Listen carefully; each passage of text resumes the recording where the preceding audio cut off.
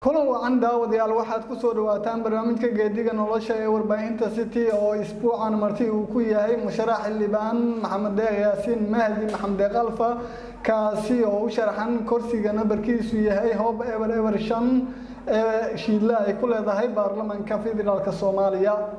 Xildhibaane sharaf ayay noo tahay inaad barnaamijka geediga marti aad ku noqotid. Waa kaaga mahad celinayaa raaga xasan aada iyo aada umahadsantihiin dhammaan shaqaalaha ee warbaahinta city waana ku dhawahay barnaamijka geediga maxamed deeq yaasiin xaggee geediga nolosha uu ka soo bilaabay? Aada umahadsan tahay maxamed yaasiin. Geediga nolosha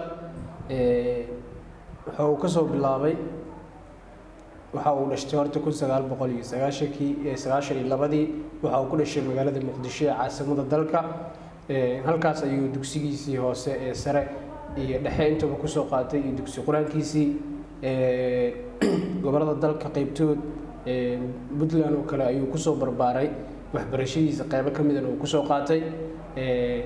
Maxamed deeq hadda waxa uu ku sugan yahay magaalada jowhar heerkiisa jaamacadda gabagabada ayay ka mareysaa jaamacadda joobkey waxa uu ahaa markiisii horena wariye ka howlgala isla city waxa uuna yahay agaasimaha warbaahinta city.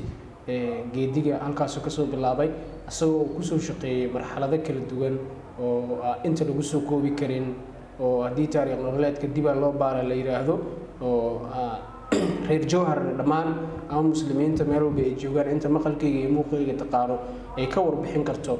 Waxaan aniga ahay inta aniga iska waramin waayahay dhawaan waxaa isku soo sharaxday kursiga shiidle ay ku leedahay baarlamanka federaalk soomaaliya.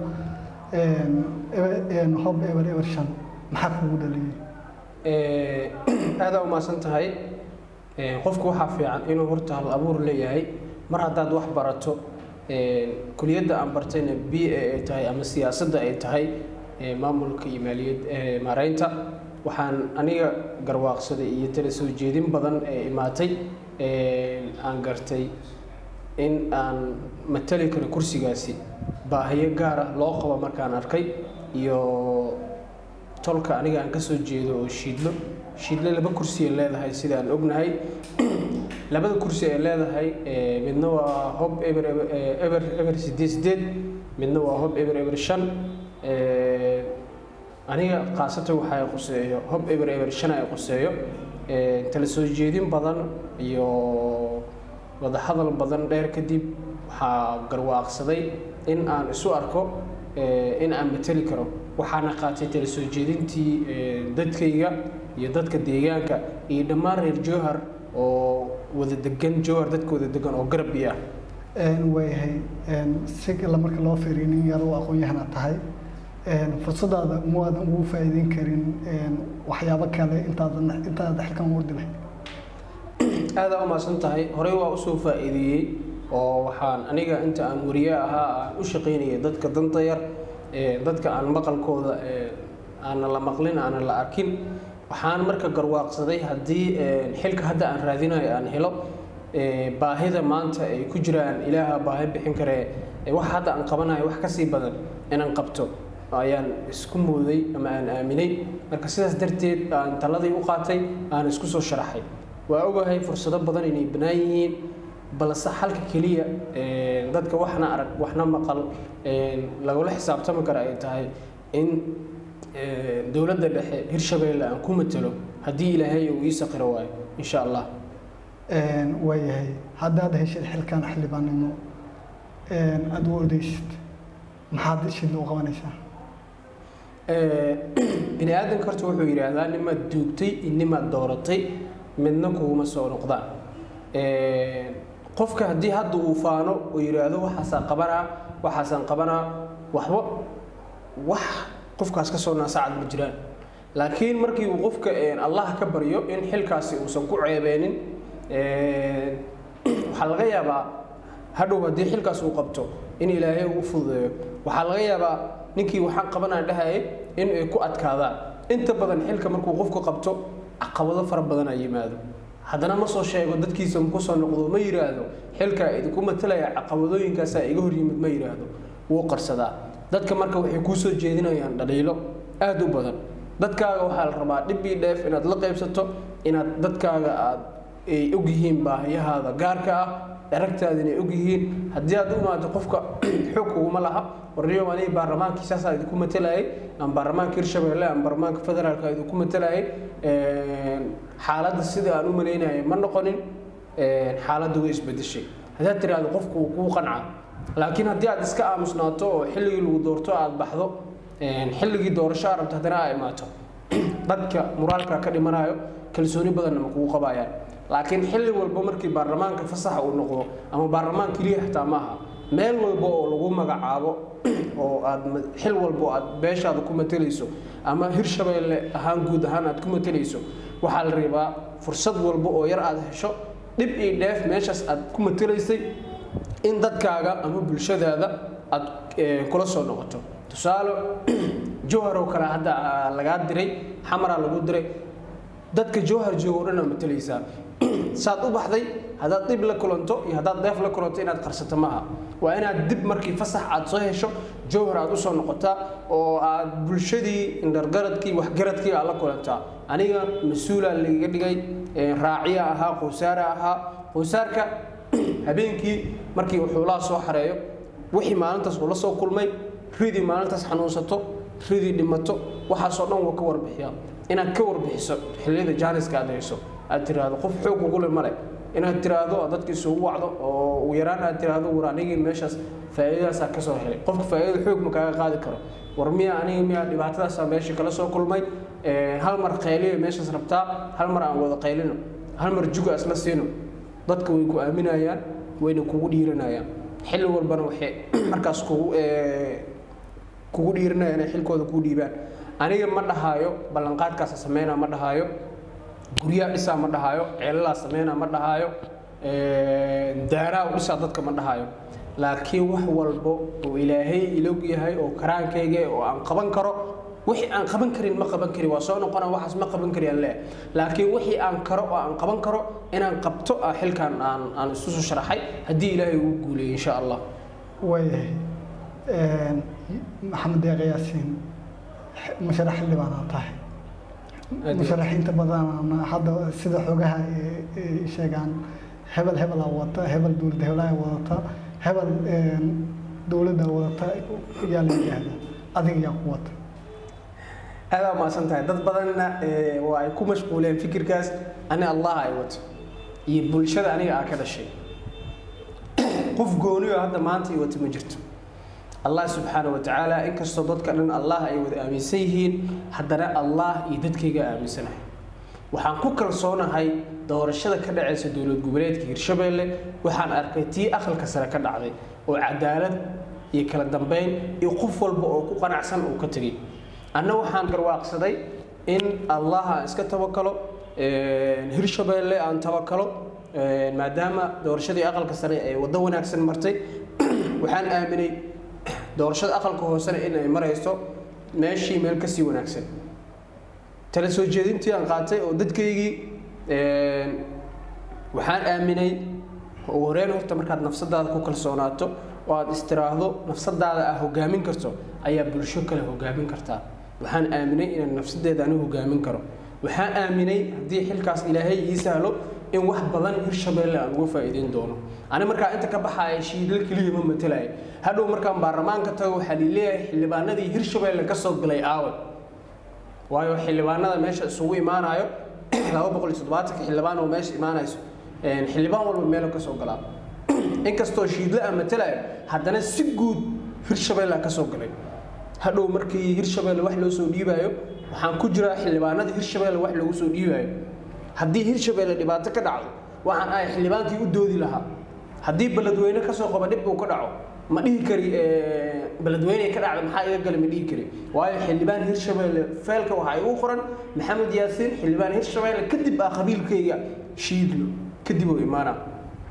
Haddii maanta hirshabeelle dhibaatadii ka dhacda aan ka aamuso af ka qabsado markii shiidlo dhib uu ku dhacona aan qayliyo taas waxay noqonaysaa mid qabyaaladaysan mid shareecada islaamka waafaqsanna maaha. Inkastoo dadkayga aan matalayo haddana hirshabeelle aan matalayo. Waxaan aaminsanahay boqolkiiba boqol maadaama dadkayga ay wakiisheen oo kursigaas inaan ku matalo ii soo saareen haddii ilaahay igu guuleeyo. Oo hirshabeellena aan aaminsanahay madaxweynaha hirshabelle ugu horeeyo cadaalad inay ka dhici doonto sida aqalka sare oo kale. Dadkaygaan kabtaada iyo tolkaaga lagama dhex baxa layidhi tolkayga iyo kabtayga kama dhex bixin kama weynin. Haddii aan helo ilaaha ii sahlay haddii aan waayana amar ilaahay aan waayo. Laakiin qof bini aadan oo maanta ii wato ama qofaa wax kaa bixinaa dhahaya ma jirto. Waayahay. Madaxweyne ku-xigeenka dowlad goboleedka hirshabeelle wuxuu magaalada beledweyne ka sheegay in musharax in kursi kasta u tartamaan beelaha ilaa kursigaas ay qof ku leeyihiin musharaxiinta ka mid ah. Hadalkaas uu kuu saameeyey aadaa umaasan tahay hadalkaas saameyn waa uu yeeshay mana yeelanin. Khaasatan reer beledweyne iyo midooda musharaxiinta uu saameyn saa-id ku yeeshay. Aniga waxaan aaminsanahay madaxweynaha madaxweyne ku-xigeenka markii uu hadlay haddana guddoomiye ku-xigeenka labaad ee baarlamaanka qoraal soo saaray. Uu dhahaayo dadka marka hore walaac ay qabeen cabsi badan ay qabeen ani cabsi ima gelin waayo waxay cabsi ii gelaynin. Qofka markii nafsadiisa iyo qabiilkiisa uusan ku qanacsanayn cabsi xoogganaa gelayso. Waxay cabsi ii geli weysay maadaama qabiilkayga garabku iiga joogo. Aan ahay muwaadin hirshabeelle aan ahay muwaadin shiidle ah oo kursigaasi xuquuqdiisa aan leeyahay aan u tartami karo oo sharciga diinta islaamka iyo dastuurka dowlad goboleedka hirshabeelle oo ii banaynayo waxay cabsi ii geli weysay. Madaxweyne ku-xigeenka waa uu hadlay. Hadalkiisa waa la jarjaray xataa hadallo badan oo yiraa jirto waa la inta la jarjaray mar midba qeybaa laga soo qaatay. Marka markii hadalka la jarjaro annaga waa ognahay miidiga horaa uga soo shaqeynay. Hadalka markuu iswato macnoo bixinaya. Laakiin markii la jarjaro qayb uu noqdo. Saameyn tii hore mid ka xoogan uu yeelana hadalkii waa la jarjaray maadaama la jarjaray madaxweyne ku-xigeenkii waxa uu yidhi qabiil waxay soo farfareeyeen meeshaas ma ka soconayo qofkaa anaga rabnaa soconayo anigu waxaa u fahmay inuu ka wado qof hirshabeelle mateli kara qabiilkana mateli karo aan keenayna qof la soo farfareeyey waxaa laga wadaa qof afar qof shan qof oo beesha kamida ee keentay oo horey beesha wax uu qaban waaye inay tahay macquul waaye. Soo asaga oo aniga aan u fahmay in ka wado dadkii hore lagu celilaana macquul waaye laakiin anaga markii dambe waxaana deeqday hadalkii guddoomiye ku-xigeenka labaad ee baarlamaanka oo ahaa qabiil walba waa loo madax baneynaa kursigooda iyagaa keensanaya annaga korjoogtaa ka ahaanayna madaxweynaha hirshabelle saasoo hore ugu ballan qaaday oo ahayd qabiil walbo in loo faragashan doonin. Qabiil soddon iyo lix kursiyaa taala hirshabelle saddex iyo toban jowharay taallaa sideed iyo toban ha jowhar miya ay taallaa lix iyo labaatan miya maaqaan waxay ma jirto qof qof kale ku cabiidin karo. Waa laga yaabaa dowladda in qof kale ay taag xoogaa garab siiso. Qabiilka qof ay wataan inay garab siiso. Qof mucaarad ah oo markaas xilkii waayey oo dowladda mucaarad ku ahaa waa laga yaabaa in hadhow si kale uu fasiro uu yidhaahdo kursiga waa la boobay. Sida hore loo sheegi waayo kursiga haddii la boobay yaa loo geeyey. Ana hadda shiidlo ahayd shiidlo lixay ka kooban tahay. Waa tolweyne iyo badhaal kursiga iyo badhaal ana hadda ma u tartami karin. Tolweyne ahayd waxaan ku ekahay kursiga tolweyne oo keliya. Anoo hadda tolweyne iyo badhaal ma aadi karin. Anoo anoo shiidlo dhexdeedii oo lixdiyo shiidlo walaale ah aad tolweyne iyo badhaal u qaybsatee kuraasta la boobay aaw xaggee taallaa kuraasta la boobay. Kursi la boobay waxaa la yidhaahdaa markii shiidlo kursi laga qaado la siiyo reer kale la siiyo ama makane la siiyo ama abgaal la siiyo ama gaaljecel la siiyo kursi shiidlo laheyd kaasaa boobitaan la yidhaahdaa laakiin ani shiidlaan ninkii la tartamaya shiidlo waay. Dhowr qofood oo shiidlo ay la tartamayso. Kursigii nin shiidlo ka mid ah oo weliba tolweynaha qaatay. Ani beri inaan dhaho ma aha kursigii waa la boobay. Waayo ani tabartayda ay reebtay ilaahay iima qorin ergadaa iga eexday keliya tolkayga inaa eeda waayo. Ma aha in aan idhaahdo kursigii dowladdaa boobtay. Mid waa waa la waa la dhihi karaa. Markii ani la ii diido shahaadada inaan qaato oo shahaadada aan doonto shuruudihii shahaadada aan buuxiyo shahaadada haddii la ii diido waxaan ku dagaalami karaa kursigii waa la boobo. Ma dhihi kariye miyaanan muwaadin ahayn. Miyaanan kursigaasi shiidlo aniga u tartami karin. Sababta shahaadada laygu diiday maxay tahay? Maamulka hirshabelle muxuu shahaadada iigu diiday? Markaas waan ku doodi karaa laakiin kursi ilaahay uusan ii qorin. Haddana ergadii aniga dadkaygi ka dhashay inaceen oo ii diideen oo qof kale ay siiyeen inaan maamul hirshabelle aan idhaahdo maamulka hirshabelle kursigii dhacay waa la afgambiyey ama maamulka jubbaland ama maamulo kale in la sheego midaas mid nasiib daro waa. Dadkana inta badan ma fahansano aniga waxaa aninka maxamed ahaan waxaan ku doodi karaa maalintii doorashada la gaaro markii la ii diido shahaadada. Haddii tabarteeda ay reebto tabarteeda ay reebto oo shahaadada tabar aan ku qaato aan waayo waa iska fadhiisanaan oo dad aan dacaayadeynin haddii shahaadada aan qaato meeshii farda la isku hayo liskuma faali lehe haddii goobtii aan tago banaankii weynaa aan tago haddii ergadii ay iga hiilisay dadkayga ay diiday maamul hirshabelle ima diidin. Dadkayga ay nacay waxay u arkeen inaan aniga mateli karin. Haddii dadkayga ay siyaana dadkayga ay jecel waxay u arkeen dadkayga inaan mateli karo. Intaas un waa maya kursi la xaday iyo madaxweynaha tiisana waxaa ka dambeysay arinkii kale madaxweynaha waxaa ka dambeeyey gudoomiye ku-xigeenka labaad ee baarlamaanka mahad mahad cismaan oo asaga ka mahad xasan cismaan oo uu ka hadlay oo yidhi kursi beel walbo kursigeeda waa u madax bannaan tahay. Waayahay maadaama cabsi ay ku gelin aadna leedahay cidna ima wadato isqabasii waa mahadsan tahay. Cabsi ima gelin markaan ku leeyahay waxay tahay aniga siyaasadda waa ku cusbahay agaasimo waaxeed iyo waxyaabo yar yar hirshabelle waa ka soo qabtay wasaaradaheeda dhowr wasaaradood wasaaradda dekedaha iyo wasaaradda kaleo hadda beeraha.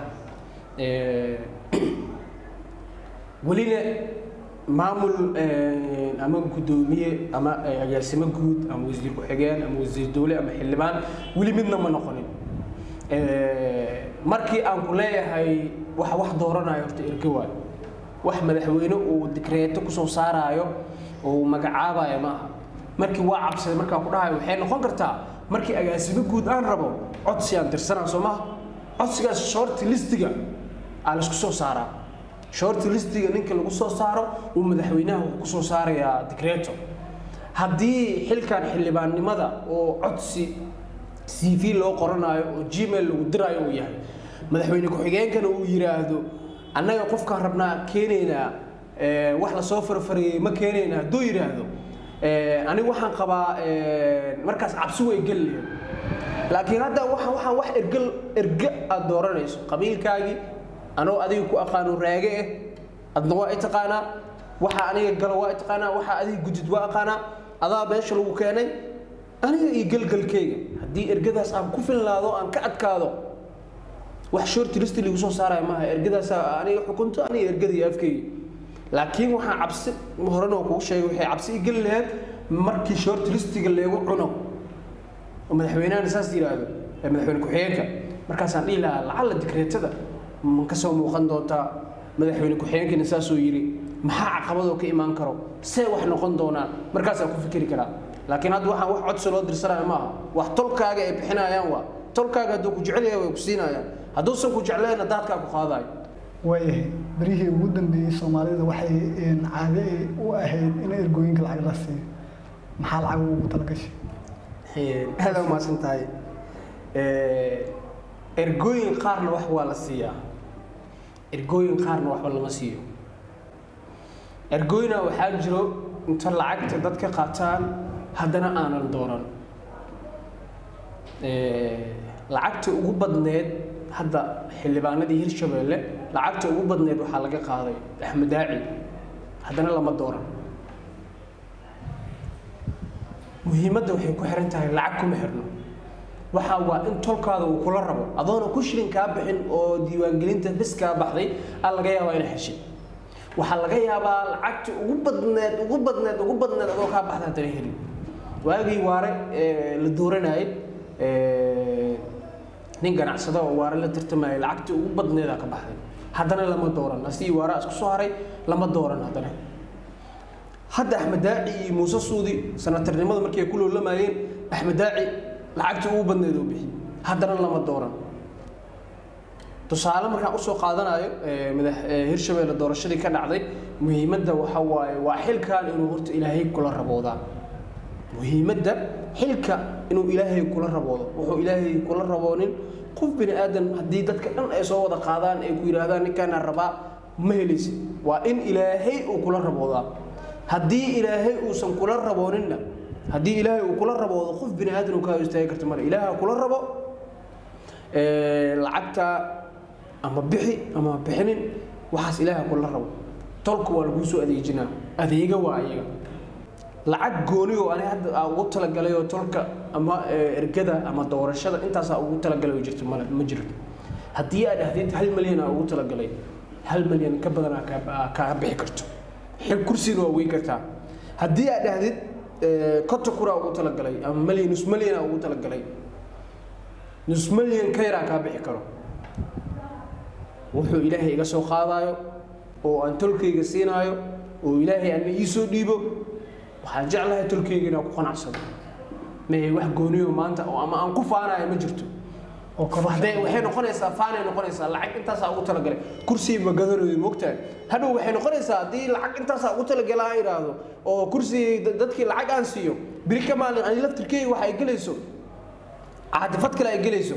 Kursigan beebeen kuma dadaan ogo kale waxay leeyihiin kursigan beebeen kuma soo qaadan waa soo gatay dhibaa ku soo maray. Ani kursiga waxaan rabaa inaan ugu adeego dadkayga ma rabo kursiga waa soo gatay inaan dhaho haddii lacag waa la bixiyaa qof diidan ma laha. Haddii lacagta ilaahay uu inta hadda rajaynayay inta aan haysto haddii ilaahay igu talagalo wixii markaas ilaahay iga qaadayo waa iga baxayaan waxaa ilaahay iga qaadaynina jeebkayga ku jirayaan laakiin markii baarlamaanka soomaaliga markaan tago oo ilaahay igu guuleeyo oo laga dhaariyo ma raba inaan idhaahdo kursiga waa soo gatay ama nabadoon markuu isoo wac inaan gambiyo waawaanaya shalay markuu lacagta intaas la eg iga qaadaya maanta inuu iisoo baahanayo mid malaynaynin miya. Waayo shaydaana naf iyo shaydaana igu xiriirto oo ii sheekeynayso ma rabo marka inaan intaas sameeyo. Haddii lacag ay iga qaataan walaaltinimo iyo waalidnimo u sii hadday doortaan way doortaan hadday i waayaanne dee rasuulkii jamaacadiisa ilaa ii gaarsiiyo. Qofaan ku dheganayo qofaan qasbaya ma jirto. Horena waa kugu sheegay malina haya haddaan idhaahdo waxay noqonaysaa inaan kula gorgortamaayo oo aad iyo aad waa fahmay ay noqonaysaa kula deegaana jowhar laga dhisaya sida sida u aragta xildhibaan? Aada umaadsanta golaha deegaanka muddo aan la soo dirinayay waa soo dhaweeyey daraad markii wasaaradda arrimaha gudaha ay ku dhawaaqday. Gola deegaan waa barnaamij aada u wanaagsan. Haddii bulshadii ninaysan aqoonin digreeto loogu keeni jiray haddii kow iyo barasho markoo dadka ay isbaranayaan asoo asoona wax qabanin xilka laga sii qaadayo dhibaatay horta ku ahayd bulshada. Laakiin maanta markii gola deegaan la sameeyo bulshada jowhar joogto dad isyaqaano reer jowhara markii golaha deegaanka ay ku soo baxaan nin la yaqaano oo la hubo oo digreeto ku soo bixin aa la doorana. Markii la doorto toddoba iyo toban toddoba iyo labaatankii xildhibaan golaha deegaanka laba guddoomiye xogheen iyo guddoomiye amni. Markii la sameeyo intooda way wada shaqayn karaan jowharna horumar ay gaadhsiin karaan. Waayahay xildhibaan marka saami qaybsiga afar dhibic shan la yidhaahdo jowhar waxaa guddoomiye ka ah shiidlo. Soo haddii gola deegaan la dhisa cabsi noocee ah ayaa idinku jirto in xilkaas aad weysaan cabsi ma cabsi soo gelayso. Abadan cabsi ma soo geli karto waxaysan cabsi ku soo geli karin. Waxaan waxaa jira qaanuun iyo shuruucyo lagu heshiiyey. Waxaan waxay dhisnaayeen ilaa barisamaadkii wax haddeer maanta la bilaabayo ma aha. Wax kabta in kor loo tuuro ama dhagaxan qabso qofka ku soo aado aa kursigaas qaadanayo lahay maaha waa wax la wada ogyahay bonty five afar dhibic shana wax lagu qaybsadaa. Waa la wada ogyahay. Waa lagu qaybsan jiray ciddii markaas guddoomiye noqonaysana waa la ogyahay. Dadkao dhana og ilmaha og haddii golaha deegaanka la isku raaco oo la dhiso shuruucdii waagii hore lagu dhaqmi jiray loo noqonaa. four point five aa lagu xisaabtamaa xisaabtamaa lagu kala baxaa bu waa la furaa. Xawaadlo intaasuu leeyahay gaaljecel intaasuu leeyahay abgaal intaasuu leeyahay shiidli intaasuu leeyahay makane intaasay leedahay reer shabeelle intaanay leedahay. Waa inta la meeshaan degan moble intaanay leedahay kaboole intaanay leedahay. Intii ah marka waxaa laga yaabaa bonty five-ka dadka la isku yidhaahdo in guddoomiyaha ugu dambeyn markii liso xubnaha bonty five-ka dadka la yidhaahdo maadaama hadda shiidle guddoomiye degme ay ka tahay jowhar guddoomiyaha gobolkana uu yahay abgaal guddoomiye ku-xigeenka gaaljecel uu yahay. Shiidle xil kale oo hadda gobol ama degmo ay ka hayso waxaa ka jirta guddoomiyaha degmada. Hadhow waxaa loo noqonayaa buuggii marka hore wax lagu qaybsaday weli woo yaalla. Kaasaa dib loogu noqonaa. Kaasaa la soo saxa waddada toosan oo rasmiga taasay ku imaanaysaa cabsi kaloo hadda qof bini aadan oo geli karto ma laha. Amuu abgaal qaataa ma lahayo amuu gaaljecel qaataa ma lahayo amuu xawaadlo qaataa ma lahayo amuu shiidlo guddoomiye gobol qaataa ma lahayo. Laakiin waxaan wax qoran oo meel yaallo oo haddana ilaahay sii qoray oo xag alle ka sii socdo waayo marka ma aaminsanihi cabsi maanta xooggan oo ama kursigaas la qaataa iyo ama booskaas la dhacaa iyo cabsi oo ani ani ka ahaan dadka kale ma aqaan.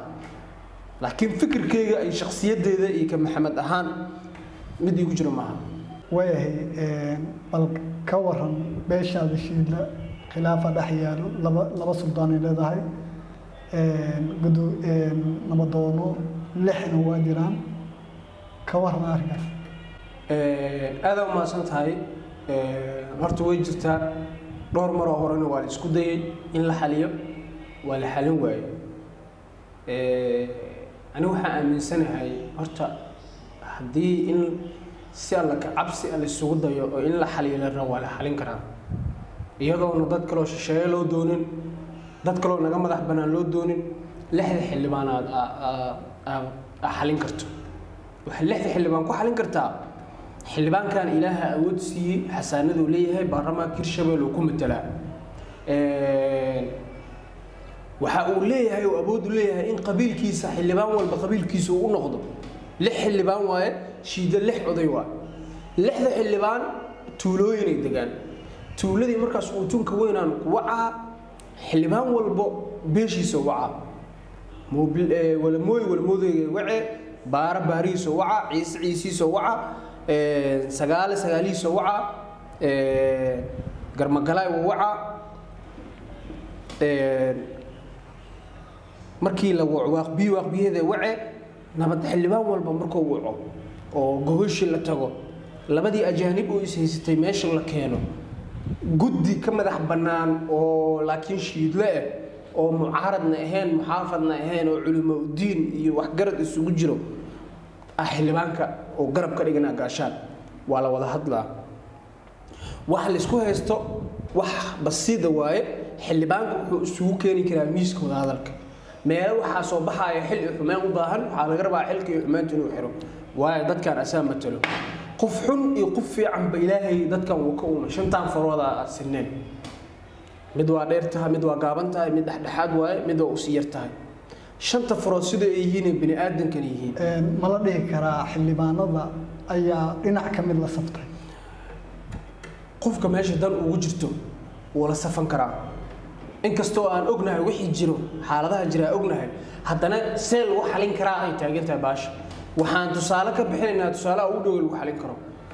Waxaan soo jeedinayaa go'aan go'aanka markii aniga xildhibaanka hadda walamooy oo kale xildhibaankeeda ahay waa baxaa walamooy oo tagaa walamooy maxaa isku haysateen barnaamijkaana isku haysana. Hadda waxa la isku haystaa dhaqan waaye waxaa inta ugu badan dhaqan waaye siyaasad ma aha dadka siyaasadda xildhibaanada kulli lixda xildhibaan iyo siyaasiyiintu waa isfahansan yihiin. Siyaasi haddii adi lagu dhiibo xali lagu dhaho oo yacni seed u xalin lahayd. Ani- keligay wax ma xalin kari. Ani keligay wax ma xalin kari. Wax lixda nabadoon maciis lixdana xildhibaan.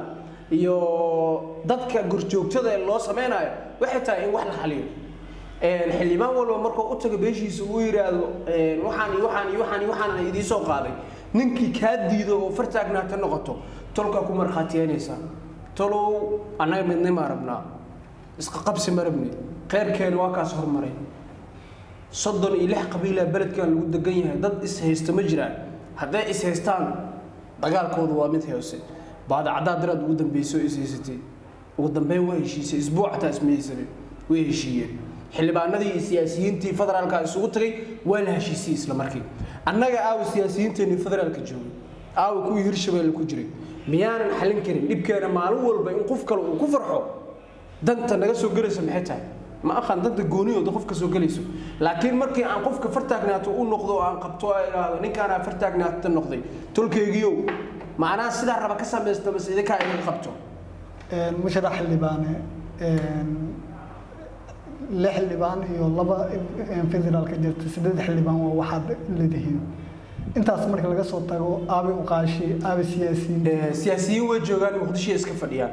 Siyaasiyiinta laftirkooda dhaqanka ku milme dhaqankii iyo siyaasaddii ashiidla iskaga dhex darsoontay aniga waxaan qabaa in markii soohin markii waxaa la yidhahdaa beer markii la isku qabsado oo ay wareerto waxaa jirta soohin oo loo noqdo meel loo noqdo oo laga soo bilaabo arrinta. Markii beertan ay isku qasanto markaasaa dadkii markay isku yimaadaan dadkii deegaanka geesaha joogay alla waxa waxaa leeyahay beertan yaa ku aqoon jirteen soohintaa loo noqdaa. Dhaqankii ma wareeray siyaasiyiintia waxaa la rabaa. Hadda puntland way isdagaashay siyaasiyiintii qaashi iyo siyaasiyiinta ayagoo isla socdaana boosaaso tageen. Dagaalkii waa la joojiyey. Annaga hadda waxba noo dhigmin dagaal gacanka hadalaa dhimin haddii meed uu dhaco oo tuuladii dadkii isla degan yihiin meedkii aan la isla maxaa maxaa maxaa dan hadda? Maxaa walaalaanahay? Lix shiidlo walaalaanahay? Maxaa laga leeyahay? Wax laga leeyahay ma jirto. Laakiin muhiimadda waxay tahay xildhibaanada inay dardar geliyaan ninka xunna ay dhaqaan ninka fiicanna ay dhaqaan. Qofkaan walaalkaa waaye ilaaha uun wax ka bedelmaya haddoo xumaado. Waa qabanaa waxaan leeyahay ninkaana igu xumaado ma iga qabanaysiin bis waa iska qabanaa. Haddii muddaan u dhiibaan dadka odayaasha muddo muddada haddii ay ku qaban waayaan anaa iska qabanayo. Xasaanadaan leeyahay amarkayga waa la qaadanaa. Madaxweynaha otagaa waxaan leeyahay tolka ninka qasaya ninkaas waa laga qabto. Haddii hal nin la qabto oo xaaladdan ay dhisan tahay waa dhisma. Dhaqankan waa dhisma siyaasaddan waa dhisma. Laakiin haddii ninkii dhibka wada haddii la soo horkaco ama la qabanaynin ama dhaqankan uu qabanaynin ama siyaasiyiintan uu qabanaynin xildhibaano keligoodna wax ma qaban karaan siyaasi keligiisna wax ma qaban karo dhaqan keligiisna wax ma qaban karo. Saana u jahwareersanaanaysaa waa sanad walba markii doorashada waa laga dhex faa'iidaystaa waa la isku diraa. Marka waxaan leeyahay xildhibaanada xildhibaanadeena sharafta badnaay waaye lix xildhibaan waaye waxay nagu matalaan yaa isku dira dad dana gaara wato oo siyaasad gooniya rabo waay. Siyaasadooda ay ka dhex arkayaan waxay waxaa diiradda soo tusaysaa haddii dadkan ay iska in qolo gooni ah siyaasadooda ay kala dhex bixi karaan. Danna uguma jirto laakiin ayaga shaksi ahaantooda dana gooniya u arkayaan marka waxaana laga rabaa annaga haddii aan nahay shiidlo beelaha lixda shiidlo dad yar maaha. Dad maanta awood ku yar tahay maaha. Dad dhaqaalo ku yar yahay maaha xuquuq badanaa ka maqan. Inta iyaga dhaqankooda isku maqan yihiin federaalka xuquuq ugu maqan tahay hirshabeella xuquuq ugu maqan tahay. Laakiin haddii aad tiraahdid aniga waxaa rabaa xaqa iga maqan. Adiga dhexdaadana faraarku uu ka taagaya xaqaas qofku siinaysa ma laha. Weligaa waa sheegaysaa laakiin markaa haddii tawfiiq isku tahay safaraan isku tawfiiq ahaynaa la yidhi sadkooda dhaca u dambeeya. Marka waa in tawfiiq ay isku noqdaan. Xildhibaanada hadda ka horna fariin waa u diray walaalahay qeybaa iga carootay aniga xumaan maaha nin walaalkooda ahay nin da'yara ahay. Haddii xumaan ay u arkeen hadda ka hor haraali noqdaano laakiin aniga xumaan igama aha wax aan wada wanaajisanaan wadnaa magacaan wuu naga wada dhexeeya walaaltinimadaa naga wada dhexeyso. Haddii maanta uu xumaado dhammaanteenu naga wada xumaado qof gooniya ma ka xumaan. Hadda ka hor fariin waxaa u diray xildhibaanadu waa inay isu yimaadaan ay tashtaan xaaladaha aan taagan ay samata bixiyaan. Colaadaa la ii qaaday xumaanaa la ii qaaday waxaa loo fahmay inaan ayaga amraayo iyaga anu ma amraayo ayaga amar igu le way imatalaan. Hadda saacadda ayaga imatalo federa ee hirshabelle igu matalo. Federaalka dada igu matalo hadda saacaddan. Aniga musharax un baa ahay shacabkaas hadda la mid ahay. Xasaanadda markaan yeesho markaasaan ani aan amri karaa ama ayaga ka sareeyo laakiin hadda waxaan isku leenahay waano iyo talo hadda ayaga ay amro. Haddii amar ay u qaateen fikirkii hore aan soo jeediyeyna raalli ha ka ahaadaan. Laakiin waxaan leeyahay arrintan idinkii labadiina lug hoostiisa ku jirtaa ilaahay ka sokow idinka ahaayo idinkaa xali karo ama xaliya ama iska daaya ani saasaa ugu baxay.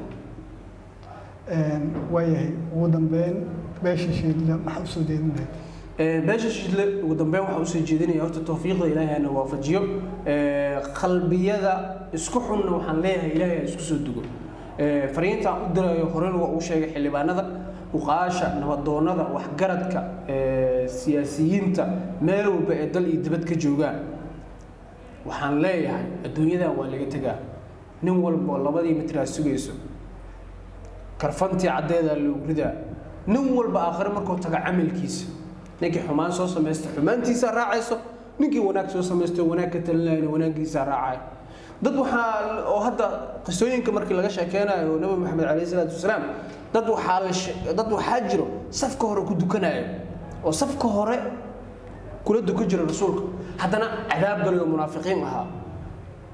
Qalbiyadu ilaahay ka daalacanay salaada way dukanayeen oo nabi maxamed calayhi salaatu wasalaam ee safka hore kula dukanayeen haddana waa ay naaray galeen. Dad anaga dhexdeen waxaa nagu jiro qalbiga afka ka mac uurkana ka marid maanta haddii adduunka waxaad ku falata aakhiraad ka helaysaa beri kaligaa lagu geyna ha isku dhihin yaa laytanii lam uuta kitaabiya. Ama ha dhihin waxaan soo qabsanaa. Ama ha dhihin falaa taluumuunii waluumuu anfusakum.